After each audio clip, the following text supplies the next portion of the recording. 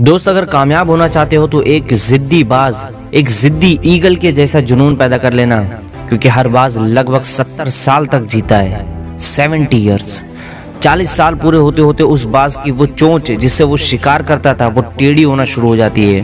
वो नाखून जिनसे वो शिकार को झपट लेता था, वो नाखून मुड़ना शुरू हो जाते हैं और जिन परों से बादलों का सीना चीर कर राजा की तरह उड़ता है, वही बर्फ़ उसके ऊपर बोझ होना शुरू हो जाते हैं।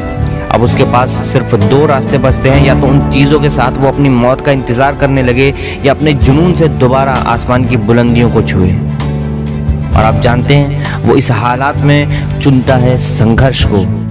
वो चुनता है दर्द को। जब एक बाज इन हालात तक पहुँच जाता है, तब वो हालात के आगे घुटने नहीं टेकता, बल्कि वो किसी ऊँची पहाड़ पर चला जाता है। वो चोंच जो मुड़ गई है और उसे शिकार करने से रोकती है, उस चोंच को पत्थर पर पटकना शुरू कर देता है और तब तक पटकता है, जब तक वो उसकी चोंच टूट ना जाए।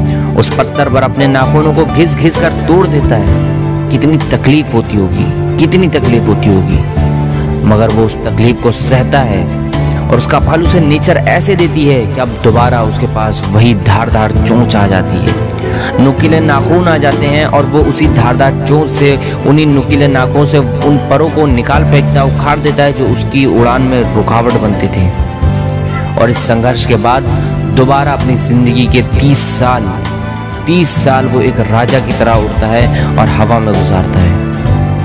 दोस्त, अगर कामयाब होना है तो जुनून तो पैदा करना पड़ेगा, पागल तो बनना पड़ेगा, जिद्दी बनना पड़ेगा। अगर तैयार हो उसी बास की तरह जिद्दी बनने के लिए तो दोस्त आपके लिए खुशखबरी है कि अब कामयाबी आपके कदम चूमेगी।